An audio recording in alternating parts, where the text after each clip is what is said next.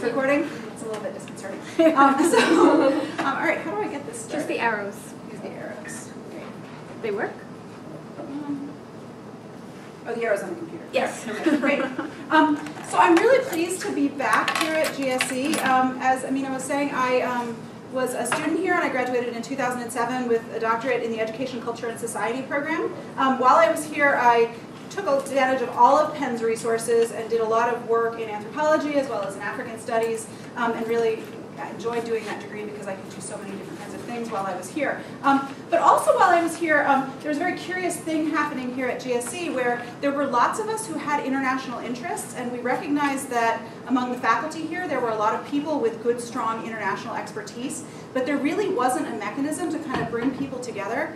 Um, so I'm thrilled that this program exists, that you guys have such a strong and robust master's program, um, but that also this program can kind of be a hub for people who have international interests across the school. Um, just as I was leaving, there was sort of a small advisory group of us that was starting to come together with some of the faculty, um, including Professor Wagner, um, to sort of pull people together and to start to try to pull these resources together. And I think that that eventually led to the formation of this program. So it's really nice to see all of this coming together. And it sort of feels really good to be coming back here after all of these um, years to, to see the fruits of that sort of early labor in bringing this together. I wish this had been here when I had been here, because it would have been nice to find community. We used to kind of bump into each other in the hallways and say, oh yeah, you're interested in that, and that's how we found each other. Um, so it's nice that you have something that you can actually find each other in a more formal way. Um, I wanted to start with, with just a little bit of my own biography because it's a little bit of an unusual biography for an academic, and I think it explains sort of the take that I have on my particular work and why my work is a little bit different than a lot of educational research. Um, as I said before, I, I, started out here at GSE um, and did a very interdisciplinary degree, but a degree in education, um, which is something that, that the program here at Penn allows you to do. Um, during that process, I was really drawn to anthropology, and so I started doing a lot of work in anthropology. Um, and I came very, very close to doing a joint degree with anthropology, which many, many of the people in the ECS doctoral program do a joint degree either with anthropology or history or sociology or other fields. Um, however, I couldn't do that, that joint degree, um, and I couldn't do it for, for personal reasons which have an awful lot to do with the genesis of my research. Um, when I came into the program here, like many people, I didn't know what I wanted to do research on, I didn't know what I was interested in, but I'd spent two years in Eritrea as a Peace Corps volunteer. Um, while I was a Peace Corps volunteer in Eritrea, um, I met the man who has become my husband, um, who's an Eritrean. Um, and so throughout the course of being in, in my doctoral program, um, I was sort of trying to figure out how to get him to the US. Um, and for various complicated reasons that will become more apparent as I start my presentation, um, I didn't succeed in doing that. So when it came time that I was finished my coursework and I had to go off and find a field site somewhere, um, there was no choice. I had to go back to Eritrea. I'd been doing a long distance marriage for a long time and I was done with it. Um, so I had to go back and the anthropology program sort of said, yes, we'd love to have you do a joint degree, but you have to stay here for another year and I just wasn't really prepared to, to be stuck in the United States for another year. So I didn't actually do the joint degree, but um, that's always been something I've, I've, been a little bit sad um, about. Um, and I did come really, really close to doing that.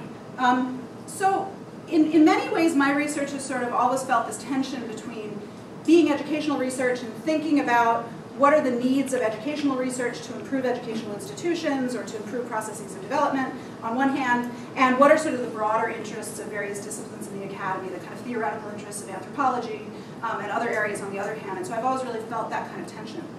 Um, just as I was graduating from this program, um, through a combination of serendipity, chance, luck, um, and a, a, sort of very fortuitous email that was forwarded to me from Arcadia University via Dr. Wagner, um, I landed a job at Arcadia University, which is where I currently work. However, that job is actually not in education. So here I am, a scholar trained in the field of education who's jumped out of education. This is a very unusual thing to do in, in academia. Um, my current position is in international studies which is a very interdisciplinary field with sort of strong legs in political science. So now we're bringing in a totally new discipline that I really have no training in at all. Um, and my own interest in anthropology. Um, and it was a bunch of historians that hired me, so that kind of brings a whole other element into it. Um, so I got this wonderful job at Arcadia University, and I loved it, and it's a wonderful place to work. Um, and I thought, oh great, now I'm not in the Ed School, I'm in, I'm in an international studies program, now I get to be a real anthropologist.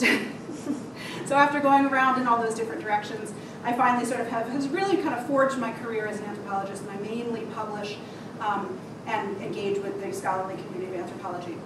Um, but I've also sort of always tried to kind of keep an awareness of the other interdisciplinary realms, including education, that I engage with.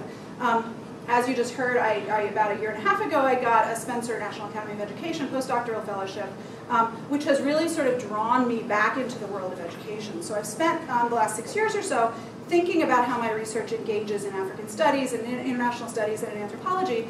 And now I'm just at the beginning of starting to think about, okay, so what can this say to education? What can this say to educational literatures and to the needs of people who are concerned about education around the world?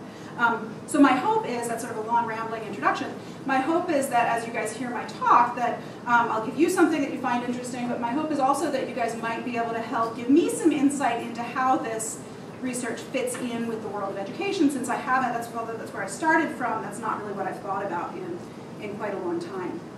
Um, so that's sort of my general biography and how all of this fits together, and I'll talk as I go through this, um, if anyone's curious more about kind of my relationship with my husband and the Eritrean state and how all of that um, figures into all of this as well, because it's been a kind of interesting and complicated process as we've gone through this.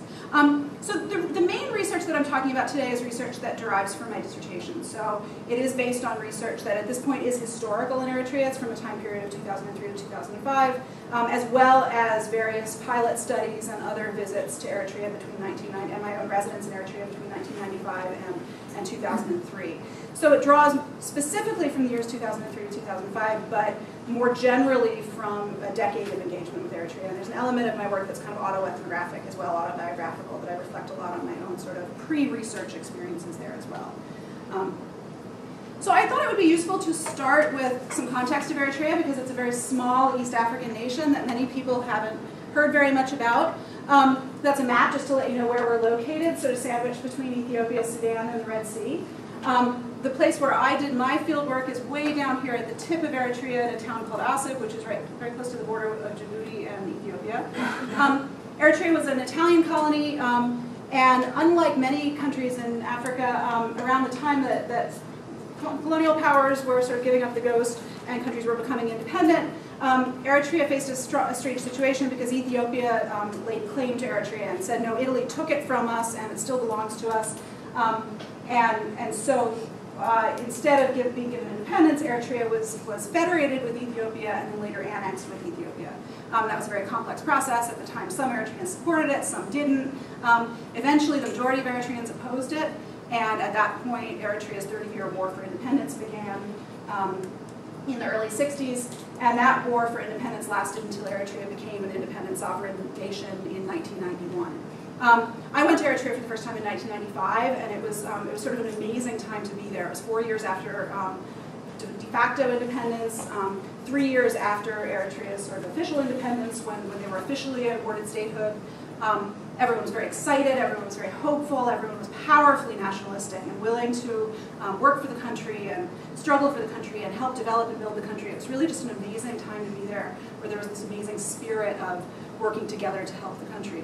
Um, all of that went along pretty well and things seemed to be on a pretty good trajectory um, until 1998 when much to everybody's surprise a border war with Ethiopia broke out. Um, the border war sort of officially wrapped up in 2000 and there hasn't been any, any fighting since then. Um, however, the war is still, from Eritrea's perspective, the war is still not entirely resolved. Um, according to an agreement between the two countries, there was a, a, a sort of delineation of the border, um, but Ethiopia has not accepted that delineation of the border, so Eritrea sort of, sort of still very much regards itself as engaged in a Cold War with, with Ethiopia. Um, and in a minute you'll see why that has been so significant for shaping Eritrea's sort of heavily militarized form of nationalism. I should have mentioned, if anyone has questions as I go through, um, I'm happy to take questions as I go along if I say anything that's confusing or you'd like more information about. Um, I may be throwing a lot of information on you, so if anyone wants to pick up on a point or ask about later in the question and answer, um, please feel free to do so. Um, so I wanted to give a little bit of an overview of the political climate in Eritrea that's developed since 1998. Um, Eritrea is now a highly militarized single-party state. Um, military and political power is centralized around the figure of the president. Um, it's a dictatorship um, for all intents and purposes. Um, around the time that I was doing my dissertation research and writing my dissertation, um, I was very hesitant to use words like authoritarian regime and dictator because they just seemed so predetermined and I wasn't yet convinced that those words were descriptive. Um, I'm pretty comfortable using them now because I think that um, they do describe what's happened in Eritrea anytime you have a president who's been in power for over 20 years. Um, and there have been no elections, and there are no additional parties, and people are not allowed to engage in any form of political protest or political organization.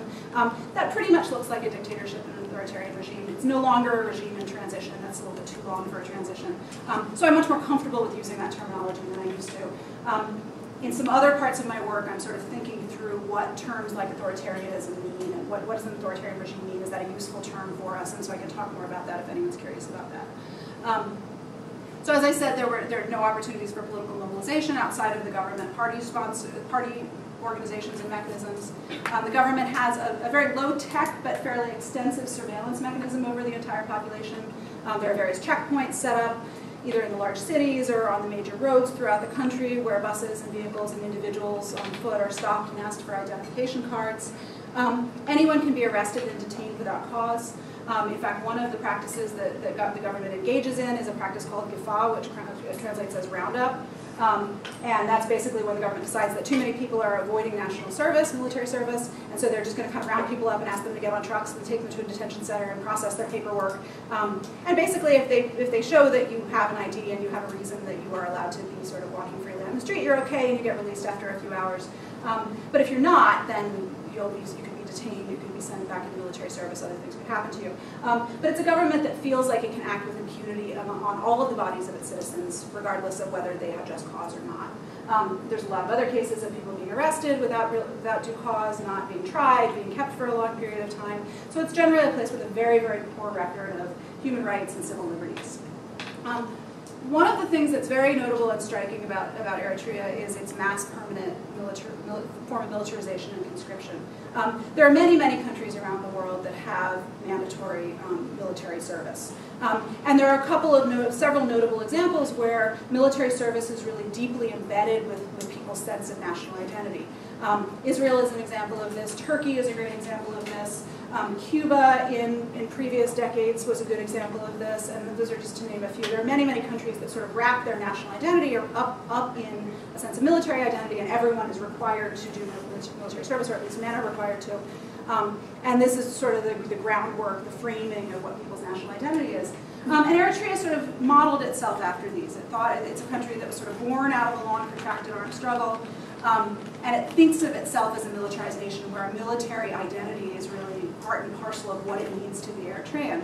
Um, an interesting um, difference between some of those other states that I mentioned in Eritrea is that Eritrea requires both men and women to do military service. So whereas military identity um, is, is often a very, very masculine military national identity in Eritrea, it's sort of gender neutral because everyone's expected to do this.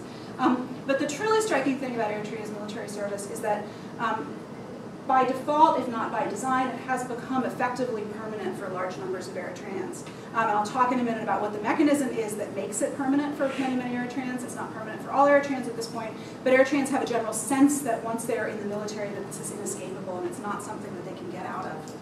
Um, conditions in military service are extremely harsh. Um, Again, this is partly by design, that they want to make sure that their soldiers are sort of able to survive in very harsh conditions. To some degree, this is what happens in the military everywhere. Um, Eritrea's case is, is, a little bit more harsh than everywhere, and then its, its permanence is the other um, condition that makes it particularly harsh. Um, another thing that's particularly striking about Eritrea um, is that emigration is effectively illegal. Um, technically, according to their laws, um, it's not illegal. Once you've completed your military service, you are allowed to get an exit visa and to leave the country. Um, however, since so many people don't finish their military service, or they finish, but the government sort of says, oh, well, we're not really ready to let you go because we could go back to war with Ethiopia. So there's a lot of kind of hedging around who's allowed to get an exit visa. Um, and that's incidentally why when I finished up my coursework here at GSE, I had to move back to Eritrea because my husband, who had finished the military component of his national service and should have been finished with his national service entirely, um, was told by the government, sorry, we can't let you leave, we're not letting anyone leave yet, even though he was finished with what he should have had to do. Um, and he was in the same boat with um, the vast majority of, of Eritreans, men, women, educated, uneducated, um, in that, at, at that time. Um, because immigration is effectively illegal, um, thousands, um, by most estimates, flee illegally each month and face great danger in doing so. Not only once they get across the border into Sudan or Ethiopia, they face various dangers, but there are reported shoot-to-kill policies at the border, and those who are caught trying to escape are often are often detained. Um, but that doesn't seem to stop many people from continuing to try to escape. So that's the overview of the climate. Um, in Eritrea. Um, many of these things were, all of these things were in place at the time that I was doing my field work from 2003 to 2005. Um, many are still um, in place. Most have worsened in some form or another. Um, there's a couple of things that have gotten better, which, better in some ways, um, which I can talk a little bit about, but most, mostly this is sort of still an accurate snapshot of what's going on in Eritrea. Um, so an overview of the research that I did between 2003 and 2005. Um, I'm an ethnographer. I'm, you guys probably figured that out. So that means I go to sort of observation-oriented, qualitative interviews and observations um, at various levels. I, I, did sort of a really kind of old school ethnography where I went into a couple of schools and just kind of hung out with people day after day after day and hung out with them on the weekends and on their vacations and really got to know people really well. Um, so some people do ethnographic research that sort of goes broad and they try to cover a lot of schools and a lot of ground um, and they don't go as deep. And I did a more traditional kind of, I'm going to just go into two schools that are sort of in a community together and, and really get to know these places really well. Um, my focus was on teachers, so I was mainly spending a lot of time with teachers. Um, and the two schools, one was a junior secondary school and one was a senior secondary school, so that roughly covered the grades, grades 5 to 11. Um, to supplement that, I also did interviews with, with people who worked in the Ministry of Education, both in the capital city of Asmara, as well as in the town that I was living in, Asab. Um, I did some observations of teacher trainings, um, and like I said, I hung out with teachers on their vacations when they typically went um, to the capital city to visit. Um, so I did more, I, I, also did some kind of contextualizing um, research about what was going on in Eritrea, and, and I lived everyday life with Eritreans, so that's how I, I got an in-depth sense of how things like mass roundups were affecting people's lives, how things like knowing that many of your relatives are um, in the military or waiting to go back to the front affects people's lives. Um, Eritrea is a very small country of about 4.5 million people, so all of these things become very intimate. Um, they all have a, a, sort of deep and profound effect on the entire population. So the main questions I was interested in were, um, it's not the way I went in. I, went in thinking that um, when I was sort of developing and planning my research, I thought what I was going to be looking at was nationalism and how teachers might have a different sense of nationalism than, um, than the government itself. Um, I, and I did look at that, but what I found was really salient as I got into my research was really understanding what, what does the state mean from this kind of perspective, um, and particularly what kinds of state actors are teachers under these kinds of conditions. Um, and of course, the impact of this form of mass militarization and political rep repression on the formation of national identities in schools became a really salient question in the course of my research. Um, on a more theoretical level, I'm really interested in the evolving relationship between the nation and the state. We often sort of lump nation and state together and sort of take that hyphen between them for granted. Um, and so I'm really interested in saying, well, can we, can we continue to do that? Are nation and state necessarily the same thing? So that's something that I've also been thinking.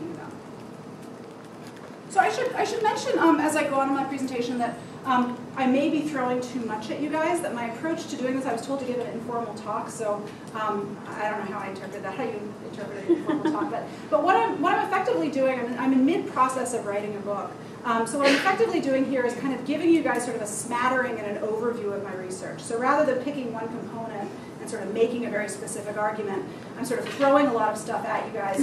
Um, and then if you're curious about any component of that, a theoretical component, a contextual component, one particular sub-argument that I'm making, um, I'm happy to go into more detail about that. But um, I'm going to sort of give you a general sense of the research I did, the central questions, the theoretical framework that I was, that I was drawing on, um, and then I'll give you some sampling of a couple of the different elements of ethnographic data that I came up with, and then we'll sort of open it up for discussion, and then you guys can pick up on whatever kind of interests you, or whatever I confused you about, or whatever I didn't give you enough information about. Um, so when, uh, when, how many people are, are familiar with ethnography and the kind of research ethnography is? So a couple of people kind of are, and I just tossed out to you guys that I know you have to do a qualitative and a quantitative um, research method for, for what you're doing. Um, one of the things that, that, ethnography is a research, it's a qualitative form of, of, research, so it's not based on sort of large N numbers. Um, it's based on sort of really getting in and observing how people are living. Um, but one of the things that's often typical of ethnographic studies is, of course, we go in with questions and an idea of what we're going to find and what we're going to learn, um, or an idea of what we want to learn. But what often happens, because context is messy, that anytime you get into, any, any of you guys have traveled, you've lived, you know this, but anytime you get on the ground in a school or another institution or elsewhere, you find that it's not, it doesn't look like it says in the books. It's always messier. It's always more convoluted. It's always more complex. So what often happens to ethnographers when they're on the ground doing research is that we find that the questions that we thought were really important really aren't the questions that are important in that particular context. Um, so then you have to kind of alter it. So you, then you say, well, this is what people really are concerned with here, and this is what's really going on here. But then you have to sort of go back to your original questions because the literature and the scholars who are back here in the United States have a different set of concerns. So ethnography is often a process of going back and forth between what you think your questions were, which is really driven by what other researchers and the general public in a place like the United States want to know, what's really going on in your field site, and the questions that the people that you're doing research with, your, your research participants, think is important, and then it's kind of constantly going back and forth between that. So I thought I had a set of questions about national identity. Um, then I got into the context and sort of realized that what teachers were really concerned with was this government that was kind of running amok and setting up these policies that went directly, that were directly opposed to their sense of values. Um, and so over the, over the years, as I've written about this, and it's gone through many different incarnations, um, I've sort of come up with the idea that these are the kinds of questions that are kind of bringing those two things together. Um, and one of the kinds of questions that I'm interrogating is what kinds of political or state actors are teachers? Um, at this point, a lot of people look at me and they're like, what do you mean teachers are state actors? Like politicians are state actors and, and other people are state actors. How do we know that teachers are state actors? Um, the easy answer to this question is that all the school, the school system in Eritrea and many parts of the world actually is highly, highly centralized. Um, so schools are state institutions. There are almost no private schools in Eritrea. Um, but even in a school system where there is a strong private system, if there's a strong state-run, centralized education system, teachers are the state actors who are charged with creating national identities in students and building a sense of citizenship. Um, so teachers very definitely are state actors. They're employed by the state. They are often the first state actor or the first encounter with the state that students will have. Um, as, as young people, they're charged with politically socializing young people, whether they know it or not. Teachers sometimes don't know it, which is sort of interesting. Um, but they are very definitely at least situated to, to be state actors. Um, the other questions that I got interested in is, given that they're state actors, how do teachers constrain or enable the development of particular kinds of political identities?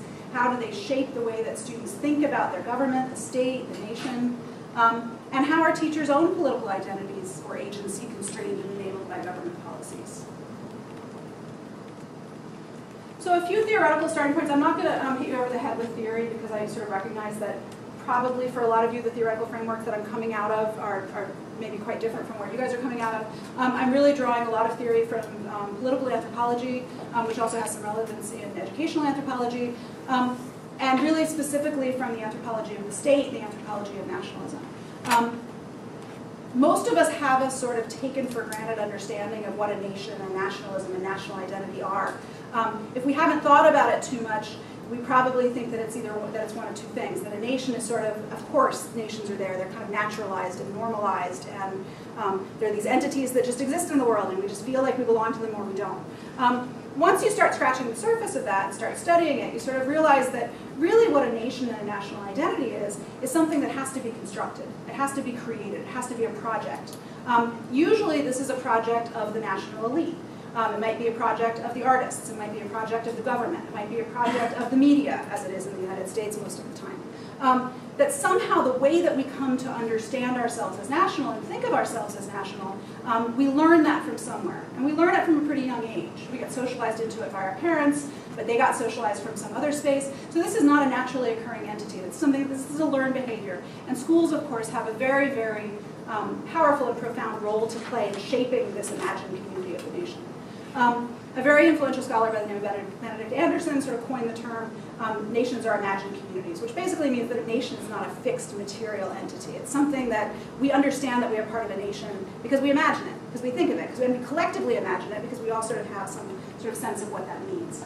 Um, but it's also important to think that um, that nations are also felt. So this is not an intellectual process. This is a lot of the literature on nationalism treats nations as if if you just teach people and teach children about nationalism, um, that people will be national. And that's not enough. Nations are something that people are typically willing to kill and die for. This is something that is powerfully, powerfully emotional. So at some point, nations have to be effervescent. They have to be, they have to be emotional. Um, this feeling often comes from sort of performances of the nation, often these are rituals of the nation. If national celebrations. When I first went to Eritrea in 1995, one of the things that struck me was on Independence Day, on May 24th, I went to an Independence Day celebration. And in many respects, this looked a lot like a 4th of July celebration here in the United States. There were fireworks, there were people, there was a band, the difference was that there was this palpable sense of emotion. Um, people were really feeling this, and of course that makes sense. We're four years out of it, uh, away from independence in 1995 in Eritrea, whereas in the United States we're, we're how many hundreds of years we can't remember it. We don't have that sense, same sense of feeling for the most part. Um, but if we think in, in, the United States, we have other parallels of things that make us feel the nation. Um, I was really struck by a lot of sort of people's comments and Facebook posts and things about 9/11 yesterday, and this is one of the ways that we feel our nation in, this, in the United States. Um, so often the government choreographs these performances and rituals that help people feel the nation. And, and Independence Day celebrations are one of those. Other kinds of celebrations and rituals are one of those. Um, schools have all kinds of rituals around the nation. Almost every school has either a Pledge of Allegiance or a flag ceremony or something like that that helps people sort of feel attachments to the nation in some way or the other. Um, but one thing that's not covered in the literature on nationalism quite so much um, is the idea that all of these sort of choreographed, state-sponsored celebrations also draw on people's lived experiences. And one of the things that gives them power is the fact that people have lived through them. Um, this is particularly salient in Eritrea, where most Eritreans lived through, the, at the time of my fieldwork, lived through the, the, the war for independence. Um, they, many of them lived either in Ethiopia or in Eritrea. They lived through Ethiopian lived through um, all of these kinds of experiences. So independence actually palpably meant something different to them. So they, they also had these lived experiences to draw on, um, which sort of contradict or don't contradict what the government said. This, this notion that lived experiences affects how you feel the nation becomes really important when you think about some of the ways in which the Eritrean state changed direction and started to behave in very, very different ways after the border war in 1998. And a lot of people, all of those powerful, strong sentiments about the nation and we love our nation and we'll do anything for it, really kind of eroded after that point in part because they had such a strong felt lived experience of the nation, which was no longer lived in those times after that. Um, so that's sort of the literature on, um, on the anthropology of nationalism and, and, some of my interventions into that, drawing on lived experience as well as sort of state, the state project of developing a nation. Um, the other piece comes from the anthropology of the state. Um, now states are also imagined like the nation, but um, this, and this is a little bit unusual because most people think, well, the state, of course it exists. It's this like mechanism of government or something like that. Um, the anthropology of the state, for the most part, sort of starts from the assumption that states, and many political scientists also write about this, so it's not just crazy anthropologists, um, but start from the assumption that states don't really exist. And if we think about it, this kind of makes sense. What's really the state? Is it really the mechanisms of the government working together? Um, is that really the state, or is that a bunch of relationships between different people? Is the state when you like go to the DMV to get your driver's license or to get your car registered or, or something like that? Um, is the state when you go to a public school and you have an encounter with a teacher? Is all of that together the state? Um, so when you think about it, the state is actually our encounters with these individual people combined with how we think about the state. Um, so I'm coming from an anthropological perspective that suggests that to understand what the state is, and how people think of the, of the state, that we have to look at sort of in discourse and language, how is the state talked about, but also how is it encountered in our everyday encounters with the state. So how do we think about our politicians and what they're doing, and the president and what he's doing, but also how do we encounter the people that we see as sort of coming down from his decisions? How do we understand how we encounter his kinds of decisions? Um, and of course, I'm looking at that from the perspective of teachers who see themselves as engaging with the state um, as its employees, but they are also the sort of front line of the state the students who are coming to them. Um, so this comes from an idea of discourse or language about the state combined with lived everyday experiences in the state. Um, now in authoritarian regimes like Eritrea, this is particularly complicated because all of the media is government sponsored. So on television and on the radio, you're not going to get a really sort of fair, I mean, of course it's going to be, the government is, is wonderful, the government is glorious, the government wants you to sacrifice for it. Um, and by the time I was doing my field work, that had kind of worn thin. People weren't really buying that. So what stands in for that is, is often rumors, and people often talk about the state in the realm of rumor um, and sort of murmurings about, well, the state is doing this. And one of the articles that um, we circulated around that, that um, I have coming out in, in, a, in a month or two, um, actually one of the things that it really looks at is rumors and, and sort of everyday discourses of the punishing state. And this is a state that's trying to punish us. This is a state that's trying to hurt us. Um, and how teachers, both because of their particular encounters with their supervisors, but also because of the ways that they talked about the state, um, they thought of the whole the state as a whole as punishing. Um, they thought of the national service mechanism as punishing. They thought of their relationships with their supervisors as punishing. Um, and in another piece of my work, which I'm, I'm, working on now, students actually thought of teachers as punishing also. So there's a whole other incarnation of what the punishing state means. Um, and then finally, I'm also interested, as I said before, in sort of how does the imagination and the imagined state how do they relate to each other? When, when, when you imagine the nation, the state as punishing, as many people in Eritrea did, um, or as dangerous, um, how does that affect the way you think about nationalism? Can you continue to manage to sort of think of yourself as willingly sacrificing for the nation and loving the nation um, when you um, feel like you're being punished by the state?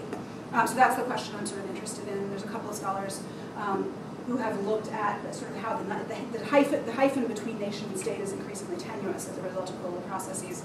So I'm sort of asking, is what's going on in Eritrea similar to what's going on in other places where nation and state are sort of not always together? Sometimes those are different kinds of things. Um, let me pause there and see if anyone has any questions, because I feel like I tossed a lot of stuff out. Yeah. Um, I don't, I don't know this region very well at all. What was the, was Eritrea more of a um, ethnically diverse, or was it basically formed by Italy as, after the colonial period, or does it have a, did it have an identity pre-colonial? That's a great question. Er Eritrean nationalism, um, some Eritrean scholars would disagree with me about this, but, but after doing the fieldwork I've done and reviewing Eritrean textbooks, Eritrean nationalism really roots its origins with Italian. Um, and it's really interesting, in the seventh grade history textbook where this gets taken up, they actually describe the migrations of different peoples from different places that led to the formation of Eritrea, and then it's like, and then it, Italian colonialism forged us as a nation.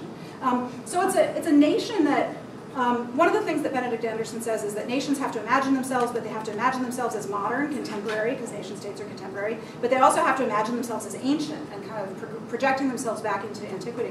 One of the interesting things about Eritrea is that it's really embraced its own modernity. Um, it's really sort of said we don't need a history that projects us back into the past. Now, now part of this is sort of a, a kind of it's to kind of counteract Ethiopian nationalism, which is the nationalism that was kind of that was the operable other. Um, and Ethiopian nationalism, and, uh, until 1991, when Ethiopia went through some changes, projected itself into the past. So Ethiopian nationalism is a nationalism that says that we've had a continuous state since the third century. We are an ancient Christian nation, um, and that's probably still pretty operable in, in, Ethiopia, although there's been some moves away from that. Um, but Eritrea, I think, was trying to sort of say, yeah, Ethiopia claims that, but no nation was really around since the third century. Um, Instead, we're this new nation. Nations in Africa came into being in the 1950s. This is what they did. This is when we came into being. Therefore, we're a nation. It's totally legitimate. So its, its claims to legitimacy as a nation are rooted much more in, in the colonial era than, than other, other places. Um, having said that, Eritrea is also very proud of its sort of what, what they call, there's one, one slogan that says, um, uh, it's a slogan that says Hadi Libi, one heart, and that means um, Hadi Libi, Hadi Hizbi, one heart, one country. Um, and and that refers to the fact that the nine ethnic, the nine Eritrean ethnic groups and two major religions um, are all one. They're all fused into one Eritrean heart.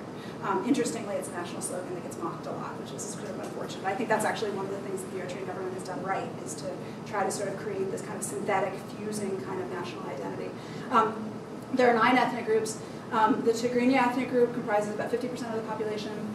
Um, they live disproportionately in the, in the central highlands of the country. They're also disproportionately sort of represented among the educated people in the country. So you have a kind of default hegemony of the, the Tigrinya people, um, not because the government has designed it that way, but that's just demographically how things are aligned. Um, the other eight ethnic groups are sort of scattered in the coastal areas, in the lowlands, in the north part of the country. Um, they tend to be more scattered, scattered about. Some of them are, um, are, are not settled peoples. Um, so it's, and, and they, they don't, um, so they haven't historically had as much education, although that's one thing that the government's trying to rectify. Um, so it's so you can see it, there's, there's sort of a problematic there. Um, that, that they're trying to sort of create the sense of sort of holistic, non-ethnic nationalism, um, but at the same time it's really difficult to do when 50% of your population is sort of over, disproportionately represented in the, in the government and in the education system. Any other questions? Yeah.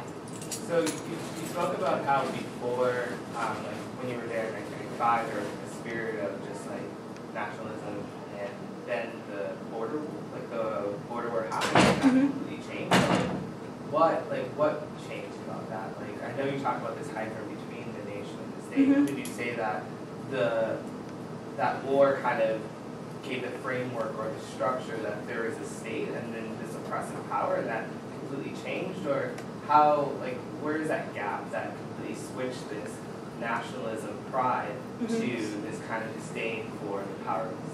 So it was a gradual, it was a very gradual process. Um, It wasn't something that happened overnight. Um, Right around the border war, as happens in any war, when when you- when a country has a war, there's this sort of galvanizing national sentiment, and people sort of get really excited and um, want to go off the nation. Um, What happened, at the border war, the fighting in the border war wrapped up in 2000, as I was saying before, this entered into a sort of a Cold War period where the border situation wasn't quite wrapped up. For many years, there were a bunch of peacekeepers in the country, and then the peacekeepers got kicked out, so they weren't there. Um, But what happened a couple years after the border war um, is that the government started something called the Warsai Yikealo Development Campaign. And what this basically did is took the national service requirement, which was originally six months of military training and 12 months of free voluntary service to the country, which many people did in the military, um, some people did as teachers, some people did as civil servants. And what they basically did is instead of saying, okay, you're done after that point, you can leave the country, you can be free, you can do what you want, they effectively indefinitely extended that. And they said that everyone now has to continue to serve and sacrifice for the country. And the development campaign extended indefinitely. So now you have people who are sort of expecting the war's over, we're not fighting anymore, we sort of expect that the government is going to let us be free and go on with our lives. And many of those people are still in national service, and they have been in national service since, um, in some of the worst cases, 1995. So these are people who are going on many, many years of continually being in national service. So that was one thing that really kind of eroded national sentiments. Um, to make that worse, and this is something that I talked about in my article, um, the government had sort of wrapped, so, so you have a government that's heavily militarized, and it's wrapped a lot of its national sentiments around this notion of being Eritrea is, being Eritrean is being a soldier, being Eritrean is being a fighter and to defend the nation. Um, being Eritrean is being, is being willing to sacrifice for the nation. So this is sort of one of the core tenets of national identity. Um, and then you take that mechanism that's intended to socialize people into sacrificing for the nation, national service, and you extend it indefinitely. Um, so what people started thinking was that, well, this isn't about serving the nation. This is about the government punishing us. This is about the government doing bad things to us. Um, around the same time, a lot of stories started circulating about abuses and mistreatment in national service, um, about commanding officers mistreating people, especially mistreating women in national service. Um, so that was all going on. Um, and at the same time, the government kept promising, we're going to hold elections, we're going to hold elections, we're going to hold elections, we're going to implement the Constitution, and they never did. So they lost a lot of legitimacy and credibility because of that. Um, so what I argue is that it's a combination of the government's own policies that were seen as and felt as increasingly repressive and restrictive, um, and were indeed incredibly uh, repressive and restrictive, combined with the fact that they'd, they'd set up nationalism to be about sacrifice for the good of the nation. Um, and they'd set up nationalism very much about trust in the government. The government will take care of you. And then the government turns around and doesn't take care of people and actually comes and abuses people. So all of that over the years led to this sort of rolling back of, of the strong sentiment towards the nation.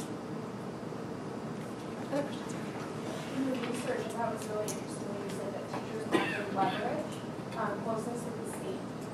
Um, I was wondering if you saw that reflected in the interaction between students and teachers. Teachers leveraging their closeness with the state. I'm going to get, it's a, it's a, that's a complicated relationship, so I'm going to get into that a little bit next and take you guys into, the classrooms. Did you ever see, uh, when you talk about how students interact with teachers and if that was reflected in how they would leverage with their teachers, students leveraging with teachers' closeness? What do you, what do you mean? So a lot of times students learn how to interact with teachers based on how teachers interact with their superiors. Mhm. So I was wondering if students use, leverage their own closeness with teachers to receive Hmm. gifts in a sense, To receive gifts. or to receive benefits. Yes, I think, I, I think they did, I think they did in some, in some ways, and this is, um, this is not something that I, I was gonna sort of talk so much about today, but, but yeah, there's, there's a lot of, Eritrea is a small country, and, and this is something I, I wrote a little bit about, the, the notion that the state is an intimate state, that it's not, the state is not out there somewhere. These are people that you know, these are people that have power, but, but they're also people that you have an intimate relationship with. So, so teachers were very much sort of leveraging their relationship with their, their superiors and trying to kind of use their own personal circumstances to try to get an outcome swung in one direction or another.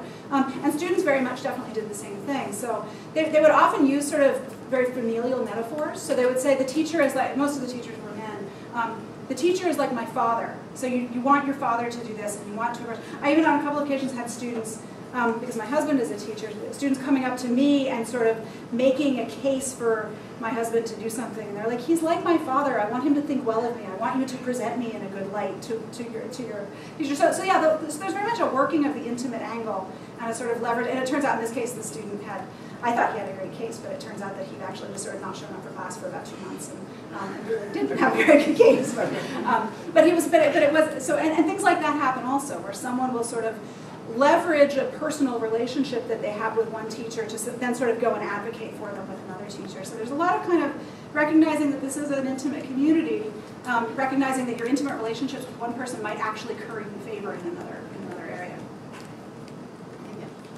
Um, I would like to know um, what languages are spoken in the country. Uh, do these languages have any influence on people when they describe their national identity?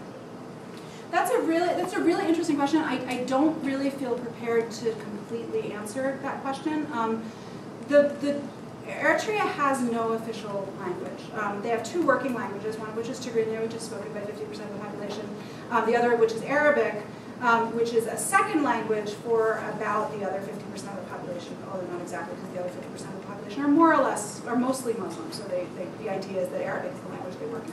Um, and in certain parts of the country, Arabic sort of functions as, it's very few people's first language, but it functions as a working language in government and other, and other areas. It's sort of a common language that people in more multi-ethnic areas um, communicate in. Um, it was a real divide. The government had a very, very strong mother tongue education policy in the primary schools. So they believed really strongly primary school education should be in your mother tongue. It took them a while to get that up and running because of the resources needed to create curriculum in nine different languages. Um, and that education in secondary schools was all in English. Um, but what that, what that did is sort of not really acknowledge the kind of default power that the Tigrinya language had because 50% of the population of the educated people tended to speak it. So if you want to get ahead in Eritrea, you have to speak Tigrinya, but it wasn't ever taught in the education system unless you were a Tigrinya, an ethnic Tigrinya speaker and were born into a Tigrinya family. Um, so, so I don't know the question about nationalism and, and language. I know that the official government policy was to promote um, to promote a sort of multilingual form of nationalism. That's again, that's tied up with the whole one heart policy, that we're, we're nine peoples, we have nine languages, all of the languages are valued. Um, but the default is that when you have a dominant language like that, if anyone wants to get ahead in education or professionally, they're going to need to speak that language. So there's, there's a lot of debate about that. The teachers were mostly um, from the Tigrinya speaking groups.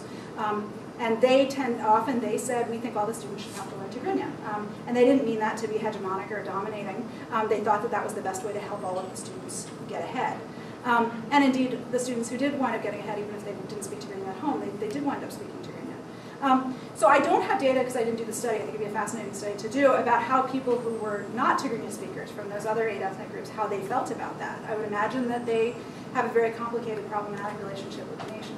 Um, that's not quite the, it's not quite the same as others. I just don't have the data on that. So just to piggyback off of that, does each school then kind of decide the language the school will use? No, the government decides. Oh, for what area? For elementary schools, yeah, the government sort of designates that this is an Arabic-speaking school, or this is an Afar-speaking school, or this is a Tigrinya-speaking school, or, um, yeah. Back here. Um, I have a question about uh, national service. Mhm. And so, what percentage of the population is currently in it? And if it's, if you said it's kind of indefinite, if you're in it, what does that entail? And if your husband has gotten out of it, how does? Oh, yeah, he's here, he's here now. Oh, That's- okay. Yeah. But that's, that's one, one of the reasons why we, we have not been able to go back is because um, it's, well, there's a couple of reasons why we're not going to go back, but there's a lot of mistrust on our part about whether they, will they let him leave again. Um, it took a very many years and a long process of trying to get him out. Um, so, so national service, we, we finally sort of found an escape clause, a, a loophole in, in their rules and convinced, and did a lot of hard work to, to enable him to, to get out. Um, so, so national service is on the books, according to law, is consists is supposed to consist of six months of military training and then 12 months of voluntary service, either in the military or another place where you're sort of appropriately designated. Um, for the people, the people for whom it's indefinitely extended, it can mean two things. The vast majority of those people continue to serve in the military. Um, and the government's rationale for this is we're still in an ongoing state of emergency. Ethiopia could attack at any time. We need to maintain all of these people in the military. But it's been a very long time to, you can't maintain people on war footing for that long. Um, for a smaller group of people, um, it's, um, it, that they serve as civil servants. Um, since I've left, many of those people serving in a civil capacity actually have been demobilized, and for those people who are serving as teachers or in another capacity, the government has actually gotten better about your year is up and now we're going to demobilize you. Um, when I was there at the time, there was tremendous uncertainty, so nobody knew. So, so teachers were, what, what that meant for them was that they were, they were not getting their salary. So they would get a very small amount of pocket money um, that amounted to about five dollars a month. Um, so they basically had to continue doing their jobs without, without any pay.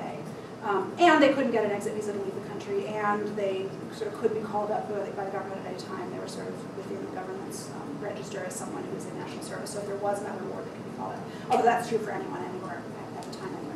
That answer your question?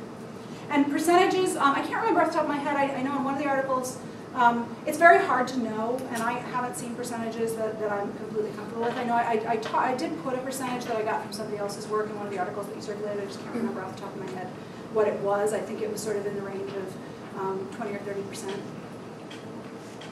So it's a sizable percentage of people in the country, but it's very, it's very difficult to know, and because no, nobody's releasing any records. Yeah. How are Western influences taught in Eritrean schools? Because I was wondering because I know a couple from Eritrea. I met them in Japan, and the husband could not go back to Eritrea because when the border, border war ended, he was in Ethiopia, and he became a refugee, and he came to Japan as a refugee. And he met his, his wife in Japan, and his wife is from Eritrea, but he's she is one of those Eritreans that's working overseas, and that was working overseas.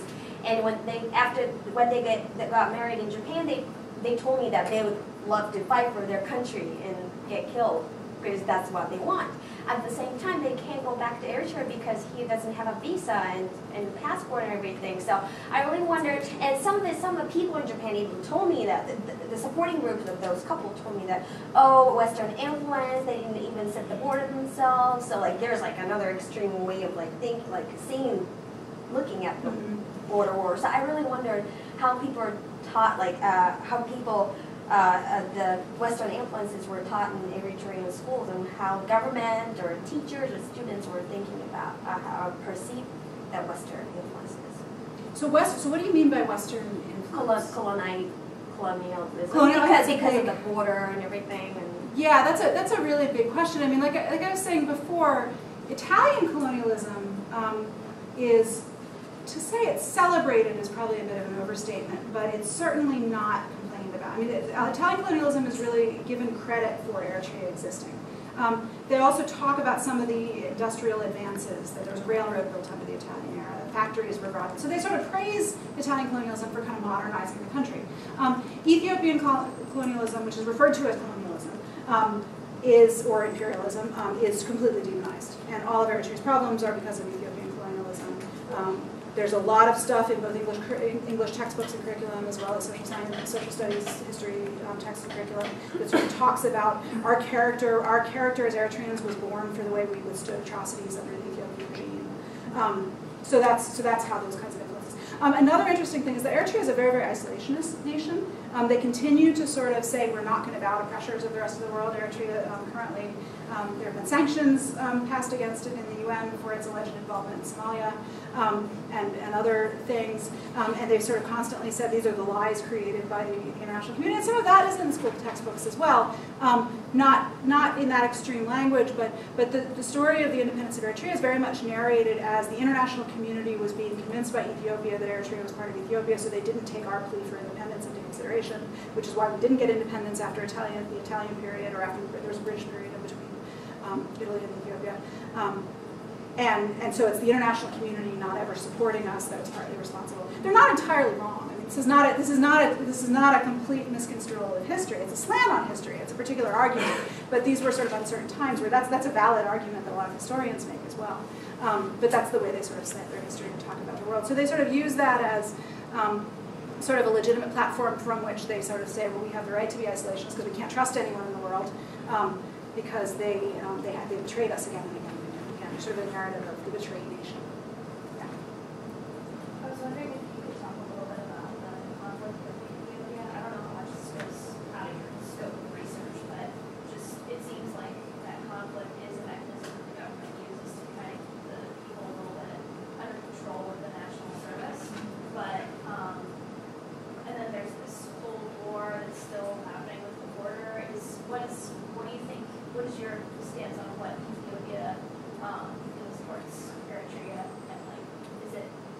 didn't want to take over, or like, what, what's the tension there? Could you explain that? So my, so my per, personal, so the, the, the first question, ye- yes, I think Eritrea, the Eritrean government has used the border war and the ongoing unresolved border situation as an excuse to not liberalize in all kinds of ways, both to not hold elections, to not implement the constitution. They've effectively sort of, what was a sort of informal, unofficially declared state of emergency around the time of the border war has kind of been extended indefinitely under the auspices of the border war is not, is not entirely. This is not unusual. Places like Burma have done this. Um, any, any country that, that has an authoritarian regime that feels like it's constantly under attack can create a sort of sense of siege. What they do is they sort of securitize the whole nation and say, our government is the only one that can protect the nation from these outside threats. Um, so the whole sense of nationalism kind of becomes securitized, and there's this sort of ongoing sense of, of, the siege state. A lot of scholars of Eritrea have written about the sort of notion of the siege state in. Um, so the government's definitely used that. Um, people are not buying it. Um, many of the Eritreans in the diaspora who are very politically active are buying it, but Eritreans in Eritrea um, are very much not buying it. They sort of they can't actively oppose it because there's no way to oppose the government. Um, but people are sort of fed up with it. So that's an answer. That, yes, the government is kind of galvanizing the border war to continue to engage in certain kinds of policies, but it's not working, and that's part of the reason why there's been this sort of delegitimation of the government's version of nationalism. Um, your second question was about the border war itself. I mean, this is just just purely my opinion, and there's lots and lots of people who disagree with me.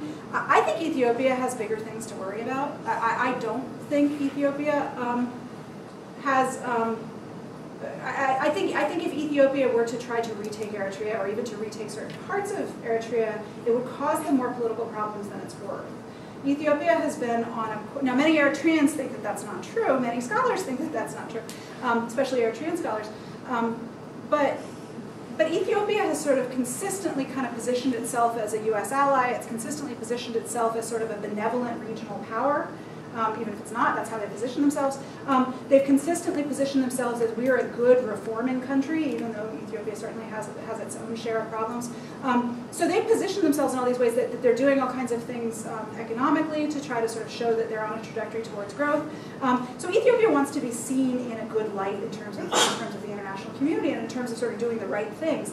Um, so if it were to sort of re-engage in a conflict with Eritrea, first I think they're smart enough now to realize that that conflict would never end. That that, that would be that would be Eritreans would fight pretty much until everyone was the country was totally decimated to, to defend the, the territorial integrity of Eritrea. Um, but I think that they also know that that's not going to gain them anything. Ethiopia is better off on the trajectory that it is, and it's sort of more trouble than it's worth. So that's my my sort of scholarly opinion on it. But that's a kind of hotly debated, debated point. I have to let Dan in. Is the Hi. is the boss? Hi. Mike. Um, You may have covered this already, but my recollection is that one of the reasons why there was this contemporary war with uh, Eritrea was around access to water. Uh, That is to say maritime Yeah. boat- boats, uh, ports. And uh, aren't they, but what kind of arrangements have they made economically to get to the sea? I guess this would be the Red So Sea. Ethiopia has invested pretty heavily in Djibouti's port. Um, I think they're also using um, some of Kenya's ports as well. Um, so I think Ethiopia Ethiopia's kind of made other arrangements. I mean, what's ironic, I don't, I don't really buy that that's, that, that might have been an aggravating factor, but I don't, a sort of agitating factor in the border war. I don't buy that that was the main reason because Ethiopia effectively had free access to the sea through the port of Assab. Um, they, they had an arrangement with Eritrea where they could use that, and that was effective. That was that was Ethiopia's port. Assab, which is where I lived, it it had the it was it was clearly Eritrea, but there were lots of Ethiopians that lived there. Um, it was a very vibrant town. There was a lot of Ethiopian, much more Ethiopian traffic coming in and out of that town um, than Eritrean traffic. So they had that. They had sea access, and the border war actually cut that off because that was the first thing that happened was we're fighting with each other. You can't use our port. Um, so yeah, yeah, there is some speculation that they really like port access, but I think they sort of recognize that the, the or maybe they don't recognize this. Maybe I'm being too optimistic. I, I tend to be my my analyses tend to be optimistic because I like to have the glass half full, um, especially when it comes to international politics because otherwise it's so weak and you just sort of. Um, but but I, I, mean I, I- think that I think Ethiopia I think probably has a better chance of getting access to the sea through Eritrea's port by through an alliance of some sort. But that's not going to happen as long as the current leader in Eritrea is in place. And it wouldn't have happened when the previous leader in Ethiopia, who, who passed away recently, was in place. Um, I'm optimistic that now that Ethiopia's under leadership, maybe there might be some change, but I think it's going to take leadership change in Eritrea before any of that changes. But um, Eritrea is pretty economically kind of hamstrung until it has a, a better relationship with Ethiopia.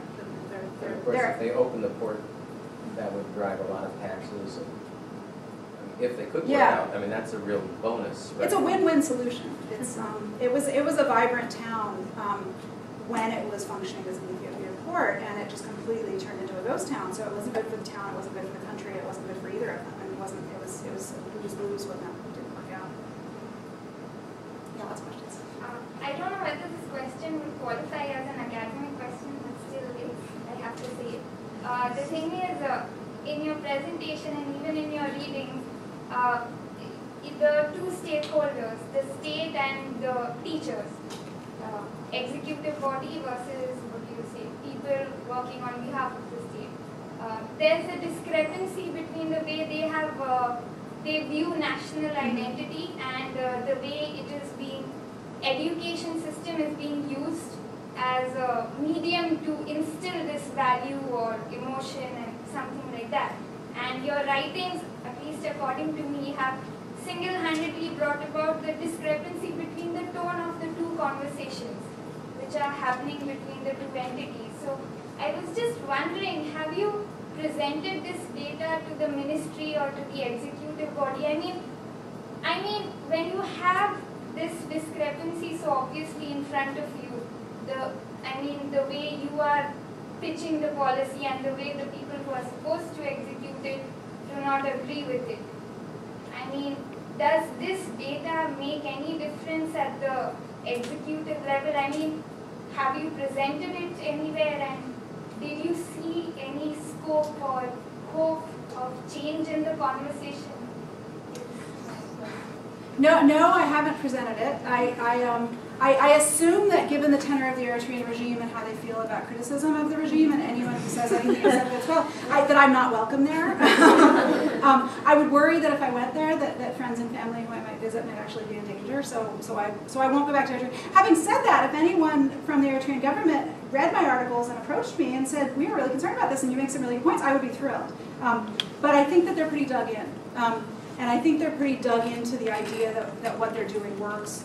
Um, and I think it's I, I, think it's more important to them to sort of continue with the program as they see it rather than to look at where it's not working. I think that um, I mean I'm, as an ethnographer, my ideas don't come out of my head. I mean I'm sort of putting a theoretical spin on them, but th- these are ideas and ways of thinking that came out of my research participants in, in, in the study. Um, so, so these are ideas that other people within the Eritrean government sort of have, and some people did try to bring this to them.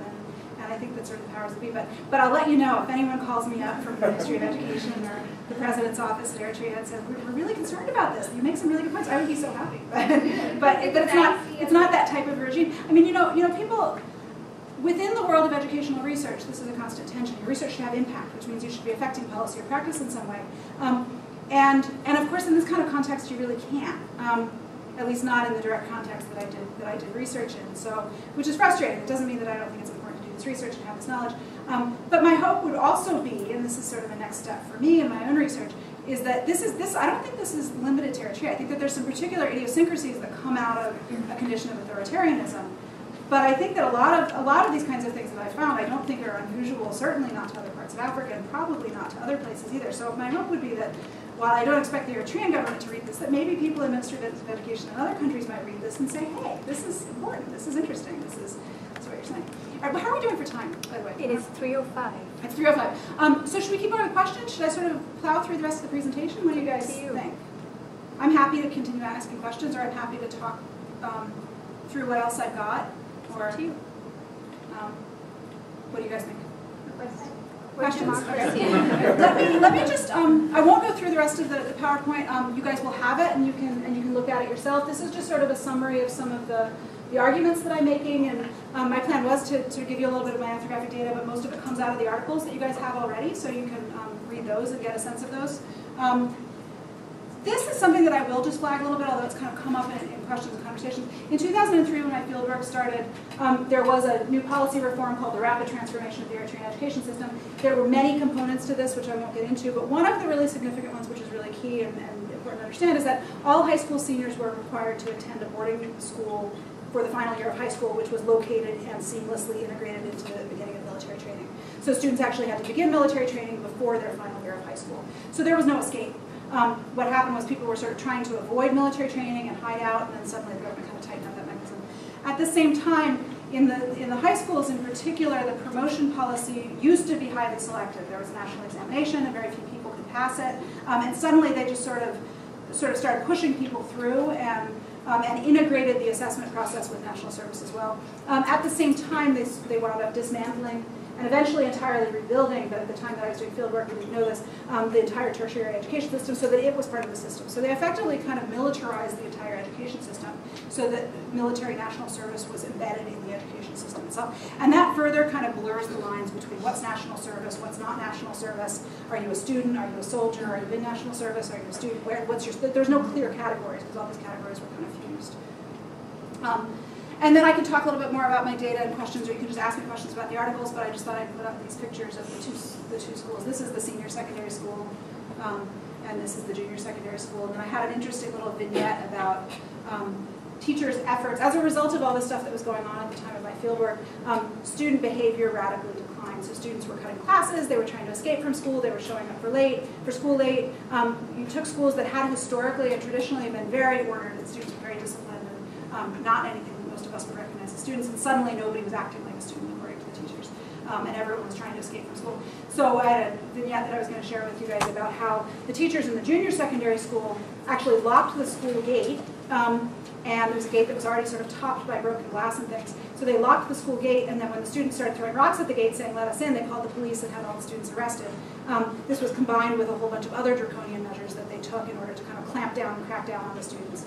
Um, so there's questions to be raised about, well, what kind of state actors are, are teachers in light of that kind of behavior? Um, meanwhile, in the senior secondary school, um, teachers um, didn't have a wall around their compound, and as you can see, it was a very wide compound with the buildings very spread out. Um, so these teachers got a donation of shipping containers, and also it was a port, so there were lots of shipping containers around which looked like these, and they put a wall made of shipping containers around the school. Um, so what we have here is, in essence, teachers who um, feel abandoned by their, their sort of superior people in the Ministry of Education that are getting absolutely no support from higher levels of the state. So they have to take matters into their own hands. They have to act as the state in their own right. Um, they have to act as sovereign. Um, so you have in both cases a sense that we've been abandoned by the state, so we have to take matters into our own hands. And so this is the notion of teacher sovereignty that I alluded to in the title. Um, and teachers sort of becoming sovereign in their own rights um, and feeling like, well, we can do whatever we want with the students. Um, meanwhile, in senior secondary school, this was kind of a joke because the students kept slipping out between the holes in the shipping containers and it kept slipping. Um, in the junior secondary school, it worked pretty well, but they had to resort to having several students arrested. Um, and a bunch of other students sort of got the crap beat out of them in this process. So this was, this was a very sort of violent measure. So this sheds light on teachers' limitations as the state, but also the, the lengths that they were willing to go to to make sure that students became educated under these kinds of circumstances. Um, so that's one of the arguments that I make in my, in my work more broadly, is trying to tease out the complexities of what kind of state actors are teachers. Um, are they the violent state or are they the sympathetic state? Um, in other instances, teachers sort of joined in with students in their kind of generalized resistance to mass militarization. Um, so you have students who are showing up for class and you have teachers who are showing up for class. You have students who show up three weeks late for the school year and you have teachers who show up four weeks late for the school year.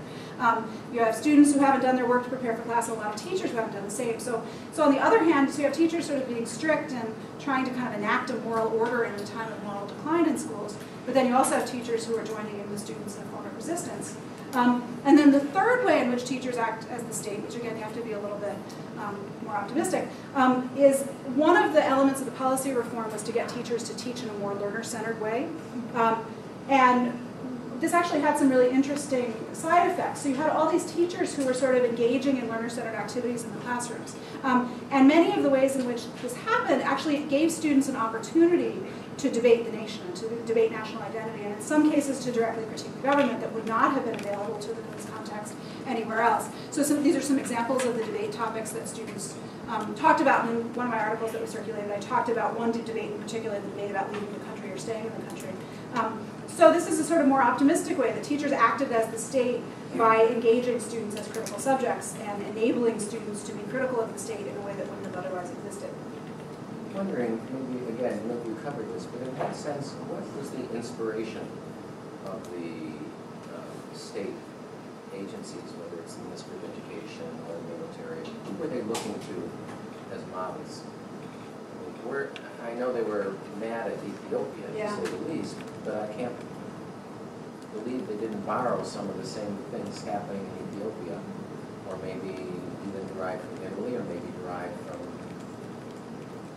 Saudi Arabia, who knows? I- mo- I- models I'm- for, models for the education system. Yeah, uh, it doesn't appear out of nowhere, or is it so unique that nobody's ever seen anything like it? So, so you mean the structure of the education system, Yeah. or, so it, so it was really kind of a smorgasbord of a whole bunch of different things. I think one of the problems is, or, I don't know if it's a problem or not, but, but that there, there was not a really clear model. So one of the interesting things when I arrived was that all the teachers sort of were saying, we're adopting the Texas curriculum standards. And everyone was making jokes about how the Ministry of Education was going to make them wear cowboy hats. Um, a couple of months later, and I know that this was a plan, because I actually got an email asking for consultants to adapt the Eritrean curriculum to the Texas curriculum standards. Um, two months later, nobody was talking about that. And, and when I, and when I interviewed um, Ministry of Education officials a couple months later, everyone was like, oh no, we were never going to adopt Texas. We take some of, we, we, we and, and this one guy pulled this big stack of different curricula from different countries. I think one of them was Singapore, and he rattled off like half a dozen different countries that they were, that they were drawing from. Um, so they sort of saw themselves as sort of adapting different kinds of things. But the one element of the policy reform that was most stringently implemented was sort of unique, this whole idea of militarizing the education system. That was specifically Eritrean, this idea that we can embed the, the education system in the military. Um, the ideas about mass promotion, I think, came a lot out of, um, they're documented in a lot of World Bank literature that sort of says Eritrea's um, education system is inefficient, there's too many people who fail, we need to make it more efficient. So that's one influence on the promotion policy.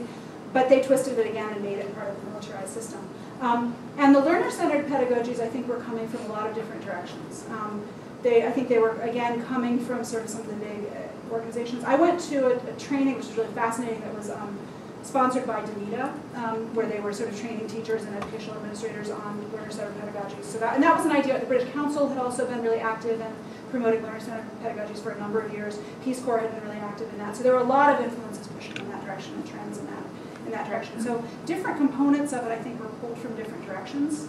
Um, there was also a really strong strand of education should be practical, it should be job-oriented, it should be skill-oriented, but that didn't really ever go anywhere from the perspective of See, those kind of, it's interesting to hear that there are those many inputs, and sometimes too many inputs and having no grounding in a model can also be disruptive.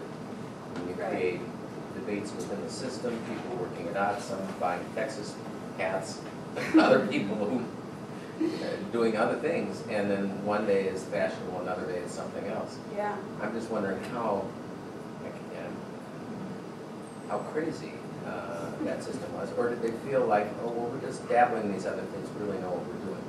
Uh, What's the sense of, I, I think that all of these other things that were going on were really cover for them to do what they wanted with the education system, which was to embed it in the military. Um, and to set up this boarding facility for grade 12 students and to make sure that the, that the tertiary system and the secondary system were all aligned. so everything for national defense? Yeah. I can't help but think that it's not that terribly different from the Israeli system. Look at the Israeli system? Yeah, Eritrea's had a, a sort of complicated relationship with Israel, but yes, Is- Israel As a system, huh? yeah, Uh, yeah, no, I'm sure, yeah. It, it's not entirely elements of that, And especially as a system of national service. Small country, big opponents. Yeah. Yeah, when I interviewed people, nobody specifically mentioned Israel, um, but I know that Israel has had a strong influence on, on Eritrea. Um, so that's completely plausible to me. Yeah. Also, as it is a high, very highly sort of centralized place, um, I think that it could be that sort of the person, the people at the top, up to the president, had an idea of what was going on. Meanwhile, various agencies and organizations and models are engaging other actors down here who don't really have any power. So I think that's where you get the fragmentation of, we're going to have this guy work on learner-centered pedagogy, we're going to have this guy work on Texas, we're going to have these people do different things, but they don't actually have the implementing power. So the president and the party leaders who were saying, this is what we want, and they weren't necessarily looking at models, um, were the ones who sort of wound up having the influence that um, in any under-resourced school district, what gets privileged is often sort of, it's a, the power system is opaque in terms of who, actually makes the final decision. If that makes sense. Can I ask one more thing? Sure. Has anybody from the University of Pennsylvania, after you, gone there to do any kind of consulting or involvement with Eritrea? Not that I'm aware of. Aware, are you aware of any, any? Um, I have You're a, our gal. I have, I, I know, I know of some people who have been, not, not in recent years, I, I don't know anyone who's been able to go and do sort of extensive ethnographic research. I have a friend who's in public health at Columbia, um, who was in Peace Corps with me, who was able to go in and do some research um, a few years after I was, but then she, she had a decent, because it's public health research and it's not particularly threatening to the government, she was able to sort of go and do research, but then somebody that she engaged with while she was there sort of disappeared after she left, and, and that was alarming to her, so she decided not to, not to go back.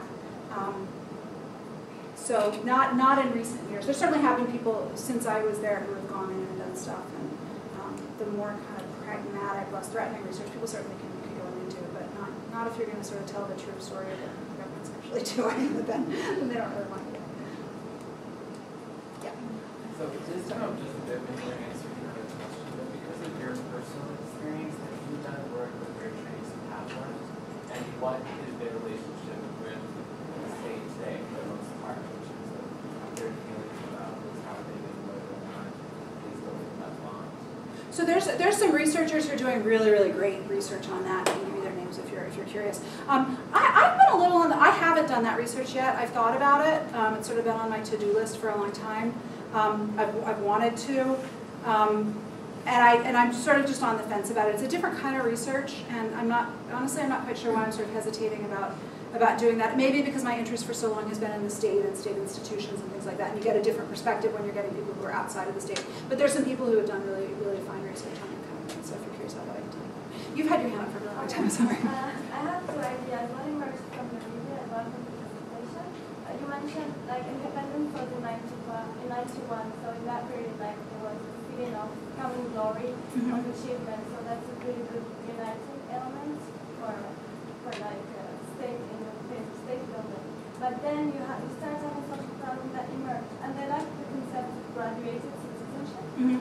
like how they're like the ones diaspora is treated different than the ones inside. Don't you think that the fact that students, as you mentioned in the reading, uh, start to feel aware, uh, get aware of this difference, we catalyze the sense of like this connection between the diaspora and the, the Eritreans inside Eritrea, and maybe catalyze their own a kind of confrontation and violence in the way they perceive each other. So like it will end up like the, the unity that the, the, the state is Mhm. working towards Yeah. to, and be more like uh, divided. And the second thing is, uh, you mentioned in your presentation that's a way for this because there is a high interconnectivity between the school and the military and the state. Do you think that uh, many students stop going to the school as a way to rebel against the state?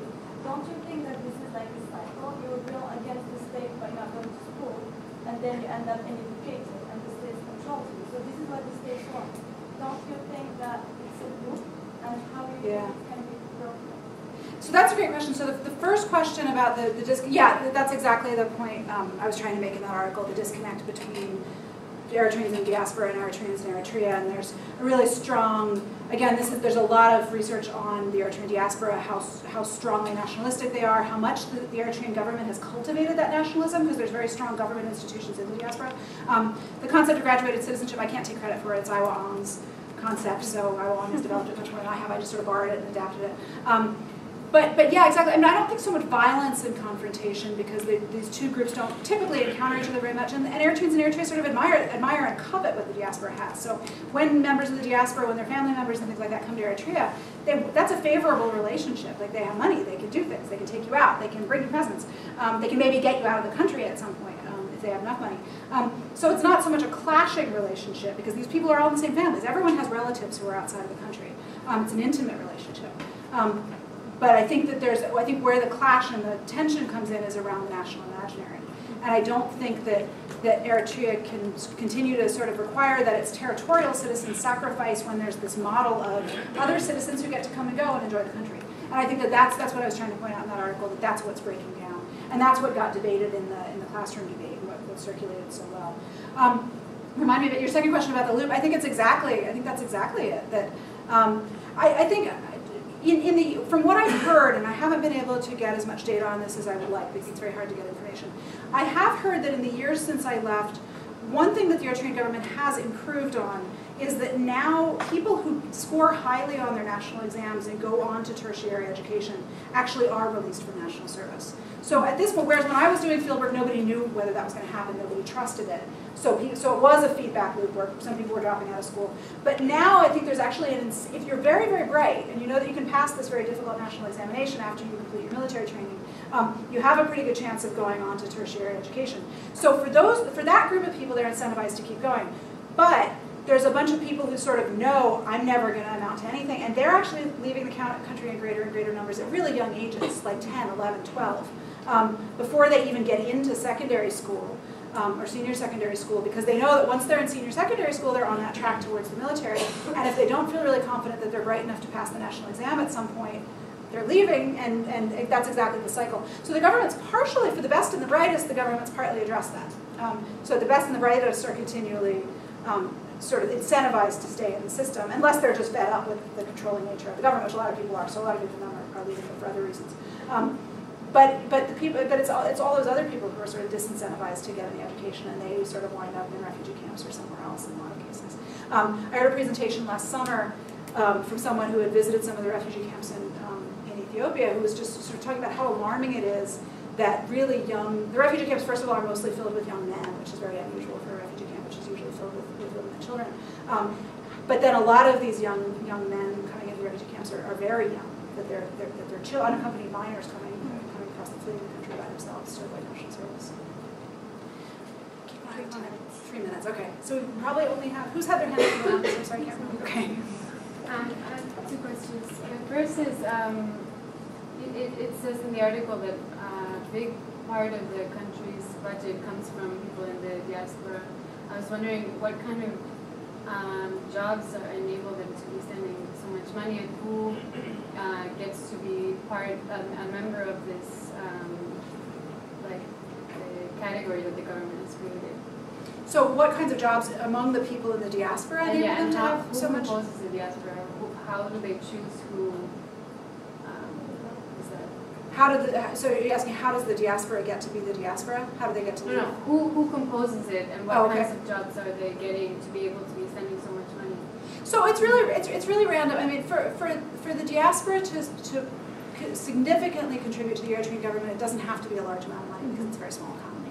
Um, so the, so these are most people in the Eritrean diaspora are not doing jobs that are um, extraordinary. I mean, there are some there are some very wealthy members of the Eritrean diaspora. There's people who have high level professional jobs. Um, it's it's an overwhelmingly pretty well educated diaspora community. Um, but this is also a community of immigrants, so they're also doing um, jobs like working in parking garages and driving taxis and, and things like that. Um, the Eritrean government has a mandatory 2% tax that all Eritreans, regardless of where you live, has, has have to pay. If you want any Eritrean government services, if you need a passport, if you hope to go back and visit the country, if your family in Eritrea wants to buy land, um, if you want to officially send money to your family in Eritrea, you have to pay this 2% tax. Um, so that's been very controversial over recent years. Is that okay for the Eritrean government to do this? Are these Eritrean citizens? Are they not? Um, by the time you're diaspora, if you're a small country, um, there's about a million Eritreans in the diaspora. By the time those million people each pay 2% of their salary, even if their salary isn't very much, um, that's a big chunk of income for a small country like Eritrea um, that has a very, very small economy to start with. Um, so that's sort of generally um, kind of where it comes from and why they, why they can contribute so much. But it's also a huge sacrifice. It's, um, it's, it's, a, it's a lot of money for people. And one of, the, one of the sort of moves in the diaspora as people get more unhappy with the government is to not pay the 2% tax. But honestly, a lot of people aren't willing to do that because they want to be able to have communication with their family. And the sec, the second one, sorry, Sorry. is that one of the, the issues that stands out um, to me is, if I understood correctly, is the teachers haven't chosen to be teachers. Mm-hmm. Um, so like what is, I was wondering what the sense of vocation, or where's their inspiration, like every day in the classroom, if they haven't chosen that? So, so I had a dissertation chapter called The Noble Profession That No One Wants. Um, and that's because teachers consistently describe teaching in these sort of idealistic, lofty terms that being a teacher is noble and we get to shape students and this is wonderful and, and we're, we're teaching them their national identities and this is very noble, special work. Um, so they had a sense of the value of it.